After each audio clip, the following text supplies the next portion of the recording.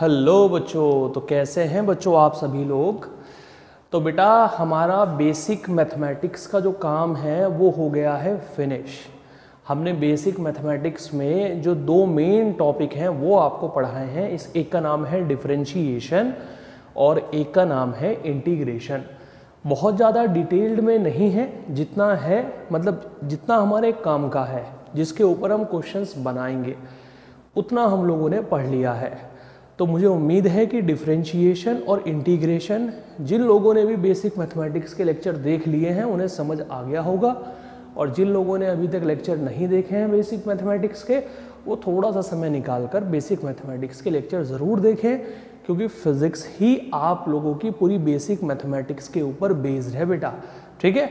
अगर आप चाहते हैं कि आगे के चैप्टर जो मैं आज से आपका फिज़िक्स का फ़र्स्ट चैप्टर स्टार्ट करने जा रहा हूँ आप अच्छे तरीके से उन्हें समझना चाहते हैं तो आपको बेसिक मैथमेटिक्स देखना ही पड़ेगा। थोड़ा थोड़ा सा समय निकाल कर आठ दस लेक्चर हैं, शायद सात या आठ लेक्चर हैं, और बहुत ज़्यादा ड्यूरेशन के भी नहीं है। बड़े प्यार से आप कभी भी समय निकाल कर संडे टू संडे भी आप देख सकते हैं, ठीक है? तो उन लेक्चर्स को आप लोग ज़रूर देखें। तो अब आ जाते हैं बेटा हम अपने टॉपिक के ऊपर। तो आज आप लोगों की फ़िज़िक्स की फ़र्स्ट क्लास है बेटा। आप इलेवेंथ क्लास का जो फ़र्स्ट चैप्टर है, जिसका नाम है फ़िज़िकल वर्ल्ड, आज हमारी उस चैप्टर की पहली क्लास है और फ़िज़िकल वर्ल्ड के बारे में हम ये चैप्टर आपके एग्ज़ाम में तो नहीं आता है, यानी आपका जो स्कूल एग्ज़ाम है ना बेटा, उसमें बहुत ही रेयरली पूछा जाता है, बहुत कम पूछा जाता है, बहुत पूछा जाता नहीं है, लेकिन पढ़ना ज़रूरी है। इसके बारे में हमें पता होना बहुत ज़रूरी चीज़ है कि भाई हमें पता हो कि फ़िज़िकल वर्ल्ड है क्या, फिज़िक्स कहाँ से निकल कर आई है फिज़िक्स का हिस्टोरिकल बैकग्राउंड क्या है? साइंस का हिस्टोरिकल बैकग्राउंड क्या है? वर्ल्ड वाइड कितने साइंटिस्ट रहे हैं? और किस किस का क्या क्या कंट्रीब्यूशन रहा है? इंडियन साइंटिस्ट का क्या कंट्रीब्यूशन है? फिज़िक्स का टेक्नोलॉजी में क्या यूज़ है? तो ये सारी बातें हम इस चैप्टर के अंदर डिस्कस करेंगे। मतलब आपके सिलेबस में तो है, लेकिन जर्नली स्कूल एग्ज़ाम वाले कम पूछते हैं इसे। कुछ स्कूल वाले पूछ लेते हैं लाइक मॉन्टफोर्ट और सेंटेंस वाले पूछ लेते हैं। A P S one A P S two ये नहीं पूछते हैं। समझ आ रही बात आप लोगों को? चलिए बेटा तो हम सबसे पहले स्टार्ट करते हैं आपका chapter number one physics chapter number one और चैप्टर का नाम है हमारे पास में फ़िज़िकल वर्ल्ड यानी हमारे आस पास का जो ये जो पूरा वर्ल्ड है, इसी को हम फ़िज़िकल वर्ल्ड कहेंगे, क्योंकि इसके अंदर जितने भी फिनोमिना हो रहे हैं जितने भी काम इस वर्ल्ड के अंदर हो रहे हैं, जो हमारे आसपास का एनवायरनमेंट है, इन सबको ही आगे चलकर हम फिज़िक्स की कैटेगरी में डालने वाले हैं बेटा। ठीक है? तो हम जानेंगे फ़िज़िकल वर्ल्ड के बारे में। अब देखिए बेटा फ़िज़िकल वर्ल्ड में फ़िज़िकल वर्ल्ड में जो सबसे पहला टॉपिक हमारे पास में आता है, वो है साइंस वॉट इज़ साइंस मतलब फिज़िक्स की बात तो हम सेकेंडरी पॉइंट में करेंगे। लेकिन सबसे पहले हम जानेंगे कि साइंस क्या है। यार देखो, जब भी हम अपने आसपास, पता नहीं तुम्हें ऐसा फील होता होगा या नहीं, लेकिन मुझे तो बड़ा होता है कि यार, जब भी मैं कोई नया सा फिनोमेना अपने आसपास देखता हूँ तो मेरे मन के अंदर एक जिज्ञासा आती है कि यार, ये फिनोमेना हो कैसे रहा है? इसके पीछे की मैकेनिज्म क्या है? क्या मैकेनिज्म है इसके पीछे की? और मैं जानने के लिए बड़ा उत्सुक हो जाता हूँ कि यार, मुझे पता होना चाहिए कि इसके पीछे की क्या मैकेनिज्म है। फिज़िक्स का कौन सा कंसेप्ट इस मैकेनिज्म के पीछे लग रहा है और कैसे हम इजीली इस मैकेनिज्म को समझ सकते हैं और दूसरों को समझा सकते हैं। यानी एक वर्ड है और वो है जिज्ञासा। हमारे अंदर ये जो जिज्ञासुपन है ना, बस ये समझ लीजिए, यही साइंस की उत्पत्ति के पीछे का कारण है। ये जो साइंस ओरिजिनेट हुआ है ना बेटा, इसके पीछे का जो कारण है, वो हमारा यही है कि हमारे अंदर जिज्ञासा का होना हमारे अंदर जिज्ञासा का होना क्यूरियोसिटी का होना कि भाई कितनी क्यूरोसिटी है हमारे पास के अंदर, यानी हम किस तरीके से हम चीज़ों को समझ सकते हैं। आइए हम देखते हैं और लेक्चर को आगे बढ़ाते हैं बेटा। ठीक है? देखिए, हमारे आसपास बहुत सारे फिनोमिना होते हैं बेटा, बहुत सारे phenomena like twinkling of stars हम टेंथ क्लास के अंदर पढ़ते हैं। नेक्स्ट फिनोमिना हमारे पास में है कि दिन रात कैसे हो रहे हैं भैया? यानी दिन के समय बड़ा उजाला रहता है, रात के समय पूरा अंधेरा हो जाता है। इसके पीछे भी फिजिक्स का कोई ना कोई मैकेनिज्म ज़रूर है। ठीक है? किस तरीके से वॉलकेनो ऑपरेशंस करता है मतलब कैसे वॉलकेनो काम करता है, और बहुत सारे फिनोमिना है, बहुत सारे फिनोमिना है। यानी आप ये समझिए कि अगर किसी भी चीज़ के अंदर आप फिज़िक्स को ढूँढने के लिए जाएँगे तो वहाँ आपको फिज़िक्स ज़रूर मिलेगी बेटा। ठीक है? तो अब आप ये समझिए कि इन सभी चीज़ों का आंसर हम एक चीज़ से देते हैं और वो है हमारे पास में definition of science what is science science है क्या बेटा? देखो साइंस क्या है? अपने आसपास के बारे में, यानी अपने आसपास जितने भी फिनोमिना हो रहे हैं, उनके बारे में जानना। On the basis of observations on the basis of experiment इसी को हम लोग बोलते हैं साइंस ये जो साइंस बना है ना बेटा, ये हमारा एक वर्ड से ओरिजिनेट हुआ है, जिसका नाम है साइंटिया साइंटिया जिसका मतलब होता है टू नो यानी हम क्या जानना चाहते हैं? हम लोगों को जानना है अपने आस-पास जितने भी इन्वायरमेंट के अंदर जितने भी फिनोमिना हो रहे हैं, उन सब के बारे में। तो सबसे पहली बात ये कि जो साइंस वर्ड ओरिजिनेट हुआ है वो हमारा ओरिजिनेट हुआ है बेटा साइंटिया से, जिसका मतलब होता है टू नो ठीक है? अच्छा इंडिया के अंदर साइंस जो ओरिजिनेट हुआ है, वो संस्कृत का एक वर्ड है, जिसका मतलब होता है विज्ञान। आप लोग पढ़ते हैं विज्ञान के बारे में साइंस विज्ञान से भी ओरिजिनेट हुआ है बेटा, जिसका मतलब भी होता है टू नो बात समझ में आ रही है? अरबिक वर्ड है हमारे पास में एक। एक अरबिक वर्ड है, जिसका मतलब होता है इल्म। इल्म से भी साइंस वर्ड ओरिजिनेट हुआ है, जिसका मतलब भी है टू नो यानी साइंटिया कहो, या विज्ञान कहो, या इल्म कहो, इन सब का मतलब सेम है और इन सब का मतलब है टू नो किसके बारे में जानना? किसके बारे में जानना? हमें जानना है उन चीज़ों के बारे में जितने भी फिनोमिना हमारे आसपास के एनवायरनमेंट में हो रहे हैं। So what is science science is the study of nature on the basis of experiment and observation experiment और ऑब्जर्वेशन के बिहाफ पर इस नेचर की स्टडी करना ही साइंस कहलाएगा बेटा। इस पूरे नेचर की स्टडी करना ही हमारा साइंस कहलाएगा। काहे के बिहाफ पर? एक्सपेरिमेंट के बिहाफ पर और ऑब्जर्वेशन के बिहाफ पर। अब इस पूरी की पूरी स्लाइड के अंदर जो ज़रूरी चीज़ें हैं, जो आप लोगों को जाननी चाहिए, वो है Latin word scientia Latin word scientia यानी साइंस कहाँ से ओरिजिनेट हुआ है? साइंस हुआ है लेटिन वर्ड साइंटिया से ओरिजिनेट बात समझ आ रही है बेटा? साइंस कहाँ से ओरिजिनेट हुआ है? संस्कृत का जो वर्ड है, जिसका मतलब है विज्ञान, यहाँ से भी साइंस ओरिजिनेट हुआ है। अरबिक वर्ड है, जिसका मतलब है इल्म, यहाँ से भी बेटा साइंस वर्ड ओरिजिनेट हुआ है। और इन सब का मतलब है नॉलेज या टू नो हम क्या जानना चाहते हैं? ठीक है? बात समझ में आ रही है बेटा आप लोगों को? तो ये तीन बातें बड़ी जानने वाली हैं। मतलब यह है कि बड़ी अच्छी चीज़ें हैं जो हम लोगों को पता होनी चाहिए। साइंटिया से साइंस ओरिजिनेट हुआ है विज्ञान से साइंस ओरिजिनेट हुआ है और हमारा अरबिक वर्ड इल्म से साइंस ओरिजिनेट हुआ है। साइंस की डेफिनेशन क्या है? साइंस की डेफिनेशन है the study of nature study of nature on the basis of on the basis of on the basis of experiment and observation experiment और ऑब्जर्वेशन के बिहाफ पर ये जो हम नेचर के बारे में पढ़ते हैं ना बेटा यही हमारा साइंस कहलाता है, यही हमारा साइंस कहलाएगा। उम्मीद है कि जितनी बातें अभी तक हमने आपको बताई हैं, ये आप लोगों को समझ आई होंगी और यहाँ तक आप लोगों को कोई भी परेशानी नहीं होगी। मैं चाहता हूँ कि यहाँ बोर्ड पर जो लिखा हुआ है, ये आप अपनी कॉपी में ज़रूर नोट करें। चैप्टर नंबर वन, चैप्टर का नाम है फ़िज़िकल वर्ल्ड। और फ़िज़िकल वर्ल्ड में जो सबसे पहली डेफिनेशन है हमारे पास में वो है वॉट इज़ साइंस साइंस है क्या? साइंस की हेडिंग डालकर ये पूरा आप लोग बनाकर लिखेंगे बेटा। जल्दी से लिखिए, फिर हम लोग आगे बात करेंगे।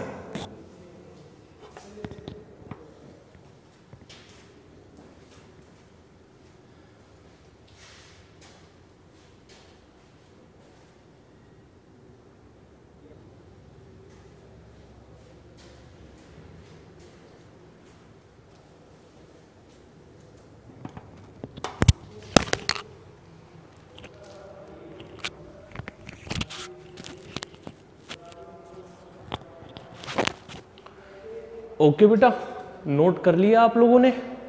तो आइए साइंस के बारे में थोड़ा सा और हम लोग जान लेते हैं कि साइंस है क्या।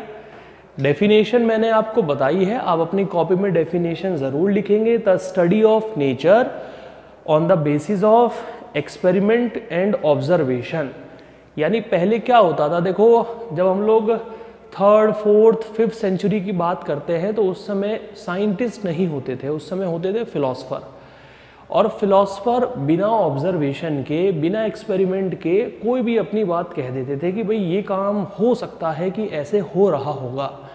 बिना किसी एक्सपेरिमेंट के सिर्फ़ एक अनुमान लगा लिया, एक प्रडिक्शन कर दी कि हाँ ये काम ऐसे हो सकता है कि ऐसे हो रहा होगा। उसके बाद आए साइंटिस्ट साइंस को ही हमने थोड़ा सा ओरिजिनेट कर दिया और हमने इसे कहा साइंटिस्ट साइंटिस्ट वही बात बताते हैं एक्सपेरिमेंट के बिहाफ पर। ऑब्जर्वेशंस के बिहाफ पर एक्सपेरिमेंट करेंगे, ऑब्जर्वेशन करेंगे, फिर कोई भी लॉ ओरिजिनेट करेंगे कि भाई हाँ ये काम कुछ इस तरीके से हो रहा है। तो फिलोसफर और साइंटिस्ट में यही एक कॉमन डिफरेंस है और वो कॉमन डिफरेंस है एक्सपेरिमेंट का। फिलोसफर विदाउट एक्सपेरिमेंट बिना एक्सपेरिमेंट अपनी बात कह देते थे कि भैया ऐसा हो रहा है, हमने एक्सपेरिमेंट तो किया नहीं। हाँ हमने एक अनुमान लगा लिया कि ऐसा हो रहा होगा। लेकिन साइंटिस्ट अपने ही वही बात, पूरा एक्सपेरिमेंट करते हैं, ऑब्जर्वेशन निकालते हैं, तब अपनी बात कहते हैं। उम्मीद करता हूँ कि ये पूरी बात आप लोगों को समझ आई होगी। इसके बाद हम लोग आगे बढ़ते हैं बेटा। देखिए नेक्स्ट पॉइंट हमारे पास में क्या आता है? नेक्स्ट पॉइंट बेटा हमारे पास में साइंस हम साइंस कह लें टाइप्स ऑफ़ साइंस कह लें या ब्रांचेस ऑफ़ साइंस कह लें। लेकिन उससे पहले हमें एक बात पढ़नी और जो मैंने आपसे क्या कहा कि साइंटिस्ट अपना पूरा काम करते हैं ऑब्जर्वेशन एंड एक्सपेरिमेंट के बिहाफ पर। फिलोसफर अपना काम एक्सपेरिमेंट या ऑब्जर्वेशन के बिहाफ पर नहीं करते थे। उन्होंने सोच लिया कि यार हाँ ऐसा हो रहा होगा। उठाकर अपनी किताब के अंदर लिख दिया। लोगों को बता दिया कि भाई हाँ ऐसे ऐसे ऐसे ऐसे हो सकता है। अच्छा लोग उनके ऊपर इतना फेथ करते थे कि तुरंत उनकी बात को मान लेते थे कि भाई हाँ ऐसा हो रहा होगा, बड़ा महान आदमी है, बड़ा होशियार आदमी है तो इसने जो भी कहा है, वो पूरी तरीके से सत्य होगा। आप लोगों को याद होगा Aristotle father of science father of physics father of biology father of chemistry Aristotle है। एरिस्टोटल के ज़माने में एरिस्टोटल को बिल्कुल ऐसे माना जाता था जैसे कि मैसेंजर ऑफ़ गॉड यानी गॉड का भेजा हुआ एक दूत।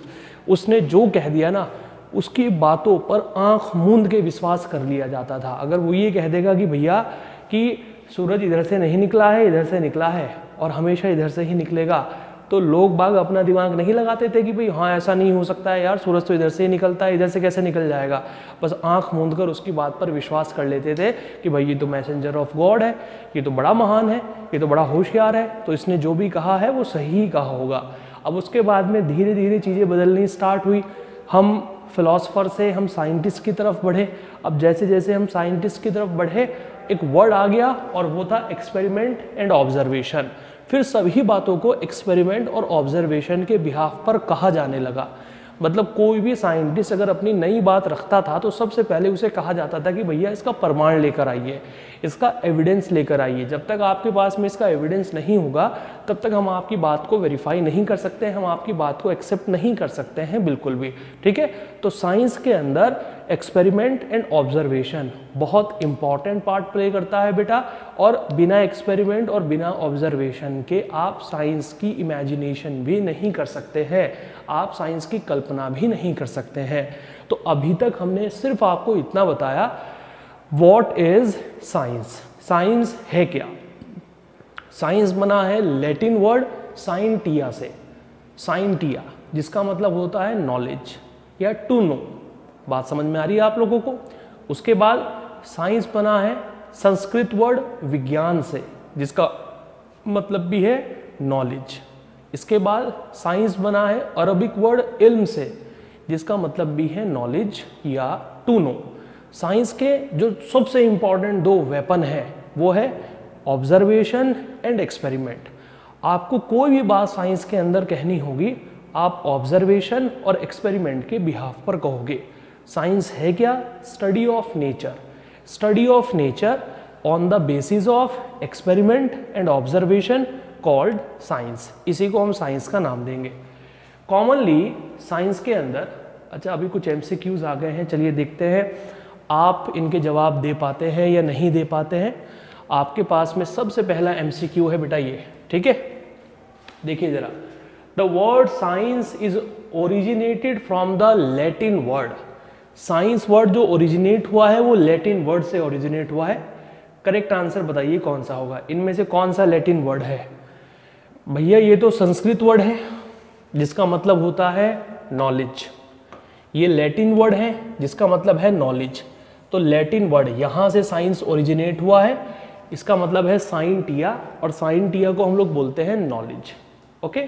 आसान सा है, अभी बताया मैंने आप लोगों को। उम्मीद है कि जस्ट समझ भी एकदम से आ गया होगा आप लोगों को। सेकंड क्वेश्चन देखिए क्या है। साइंटिया का मतलब क्या होता है?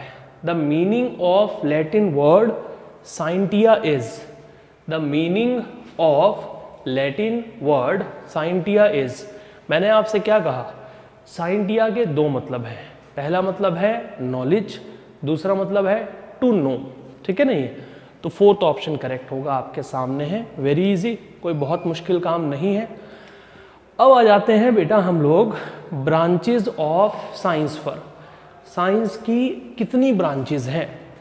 देखो, वैसे तो साइंस की बहुत सारी ब्रांचेज हैं, बहुत सारी ब्रांचेज हैं। लेकिन जो मेन ब्रांचेज हैं, वो साइंस की तीन है बेटा। पहली ब्रांच को हम बोलते हैं physical science physical science short form में हम लोग उसे बोलते हैं फिजिक्स नंबर टू है केमिकल साइंस शॉर्ट फॉर्म में हम उसे बोलते हैं केमिस्ट्री थर्ड है हमारे पास में बायोलॉजिकल साइंस जिसे हम लोग बोलते हैं बायोलॉजी ठीक है?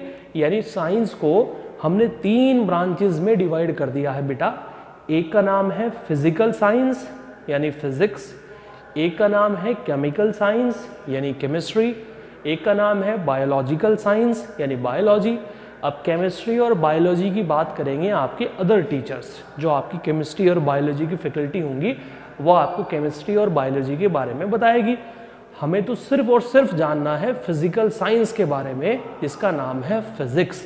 एक अच्छा स्टूडेंट कभी फिजिक्स नहीं कहता है फिजिक्स को, वो हमेशा फिजिक्स को पूरे नाम से पुकारता है। वो बोलता है फ़िज़िकल साइंस ठीक है? आप लोग भी ध्यान रखिएगा कि फिजिक्स का पूरा नाम फ़िज़िकल साइंस है। शॉर्ट फॉर्म में हम लोग इसे बोलते हैं फिजिक्स ठीक है बेटा? ओके अब हम जानते हैं कि फिजिक्स है क्या। वॉट इज़ फिजिक्स भाई फिजिक्स है क्या? कहाँ से फिजिक्स ओरिजिनेट हुआ? किसने ओरिजिनेट किया फिजिक्स को? तो बेटा फिजिक्स के बारे में सबसे पहले हमें बताया एरिस्टोटल ने। इसीलिए हम एरिस्टोटल को फादर ऑफ़ फिजिक्स बोलते हैं। सबसे पहले हमें फिजिक्स के बारे में बताया, एरिस्टोटल ने। फिजिक्स जो बना है, फिजिक्स जो ओरिजिनेट हुआ है, वो ग्रीक वर्ड से ओरिजिनेट हुआ है इसका मतलब है फ्यूजिज यानी फ्यूजिज से बना है फिजिक्स। और इस फ्यूजिज का मतलब होता है नेचर। इस फ्यूजिज का मतलब होता है बेटा नेचर। देखिए, फिजिक्स है क्या? वॉट इज़ फिजिक्स ध्यान से हमारी बात सुनिएगा। The word physics comes from the Greek word physis जो फिजिक्स निकल कर आया है ना बेटा, वो ग्रीक वर्ड से निकल कर आया है, जिसका नाम है फ्यूजिज विच मीन्स नेचर जिसका मतलब है नेचर और फिजिक्स को जो सबसे पहले इंट्रोड्यूस कराया, वो कराया है एरिस्टोटल ने। ध्यान रखिएगा बेटा एरिस्टोटल ने। एरिस्टोटल को हम बोलते हैं father of physics father of physics Greek word से फिजिक्स बना है और इस ग्रीक वर्ड का नाम है फ्यूजिज ग्रीक वर्ड से फिजिक्स बना है, इसका मतलब है फ्यूजिज और फ्यूजिज का मतलब होता है नेचर नेचर नेचर के बारे में जानना नेचर के बारे में पढ़ना, यही फ्यूजिज का मतलब है, यही फिजिक्स का मतलब है. उम्मीद करते हैं कि आप लोग समझ रहे होंगे बेटा. ठीक है? आप लोग इतना अपनी कॉपी में नोट करिए, फिर हम लोग आगे की तरफ़ बढ़ेंगे और आगे की बातें हम लोग करेंगे।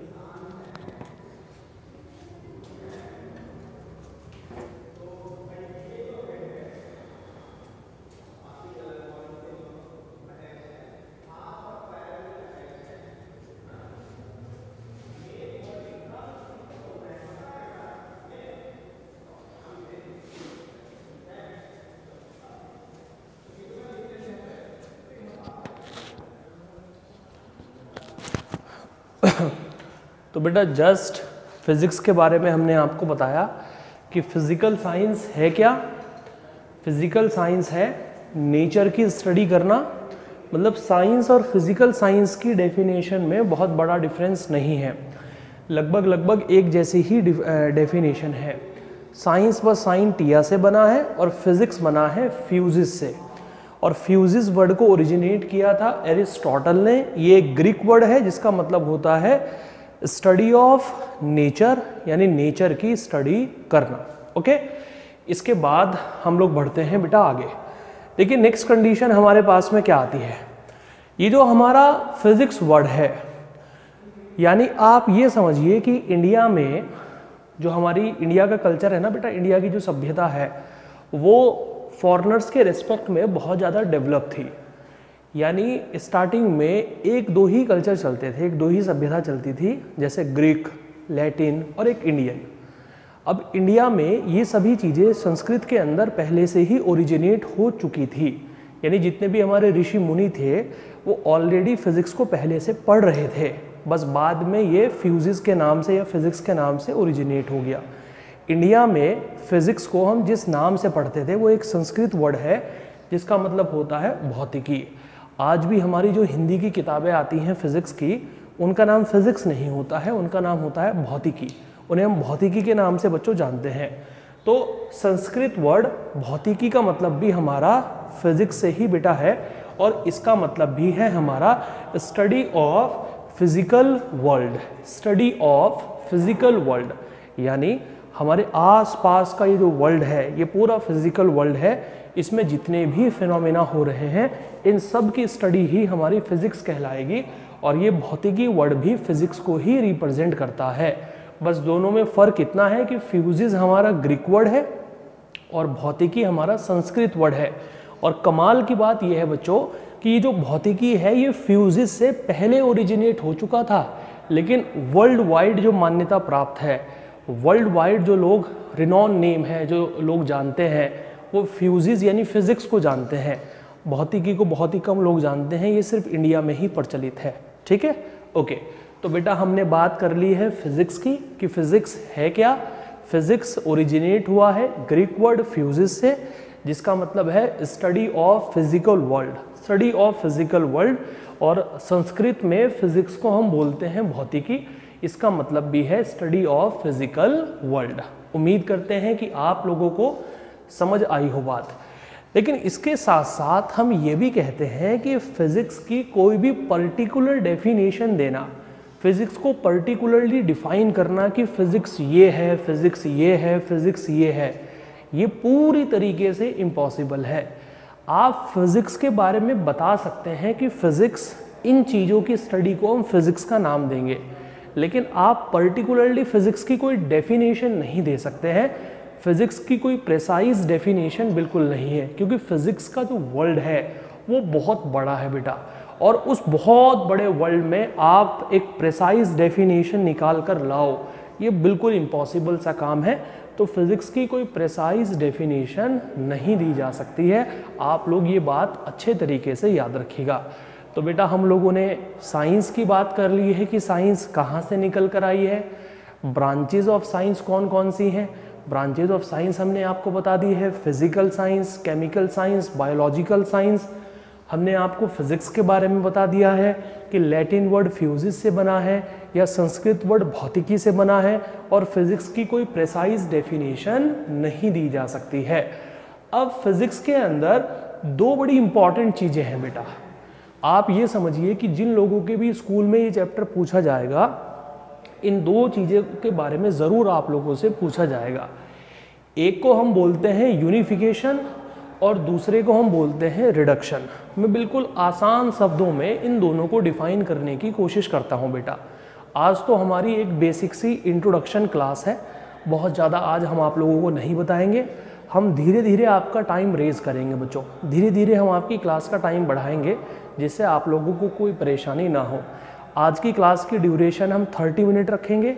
कल 35, 40, 45, 50 मिनट तक हम आपकी ड्यूरेशन लेकर जाएँगे क्लास की। ठीक है बेटा? आप लोग अच्छे से ईमानदारी से अपने नोट्स प्रिपेयर करें जो पीछे आपके सामने लिखा हुआ आ रहा है इसी से आप अपने नोट्स बनाएँ। मैं इसी के साथ साथ आप लोगों को सफिशेंट एग्जाम्पल्स कराकर चलूँगा। चाहे आपकी एन e हो या एन सी एग्जाम्पलर हो या एस वर्मा हो या बी एम शर्मा हो मतलब मैं खुद आप लोगों को इतने क्वेश्चन करा कर चलूँगा कि आपको बाहर से कुछ करने की ज़रूरत नहीं पड़ेगी। बस उन्हीं क्वेश्चंस को आप अच्छे तरीके से कर लेंगे तो आपका स्कूल एग्ज़ाम आपका नीट एग्ज़ाम यानी मेडिकल एंट्रेंस एग्ज़ाम आपका जे डबल ई का एग्ज़ाम वो सब एग्ज़ाम आपके बहुत अच्छे तरीके से क्लियर हो जाएँगे, कोई परेशानी आप लोगों को आएगी नहीं। तो थोड़ा सा मैं इनके बारे में आप लोगों को डिफाइन कर देता हूँ बेटा। There are two principal thrust in physical science यानी फिजिक्स एक का नाम है यूनिफिकेशन और दूसरे का नाम है रिडक्शन यूनिफिकेशन क्या है बेटा? यूनिफिकेशन ये है कि फिजिक्स में जितने भी लॉ आप पढ़ते हैं, जैसे मैं एक छोटे से लॉ का आपको नाम बताता हूँ ग्रेविटेशन लॉ हम ग्रेविटेशन लॉ के अकॉर्डिंग समझते हैं कि कोई भी बॉडी अगर ऊपर उछालेंगे तो अर्थ की तरफ़ जाएगी, क्योंकि अर्थ उसके ऊपर ग्रेविटेशनल फोर्स लगाती है। तो फिज़िक्स के अंदर हम बहुत सारे लॉज पढ़ेंगे बेटा। अब यूनिफिकेशन का मतलब क्या है? किसी भी प्रिंसिपल या किसी भी फिनोमिना के ऊपर उन फिज़िक्स के लॉज को अप्लाई करना। आपने कोई फिनोमिना होता हुआ देखा? जैसे न्यूटन साहब ने एप्पल को गिरता हुआ देखा। उन्होंने एप्पल के गिरने के ऊपर ग्रेविटेशन का कंसेप्ट अप्लाई कर दिया। इसी को हम नाम देंगे यूनिफिकेशन यही हमारा यूनिफिकेशन कहलाएगा।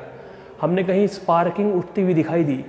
हमने स्पार्किंग को बोल दिया इलेक्ट्रोडाइनमिक्स इलेक्ट्रोडाइनमिक्स माने इलेक्ट्रिक फ़ील्ड मैग्नेटिक फ़ील्ड की वजह से स्पार्किंग पैदा हो रही है।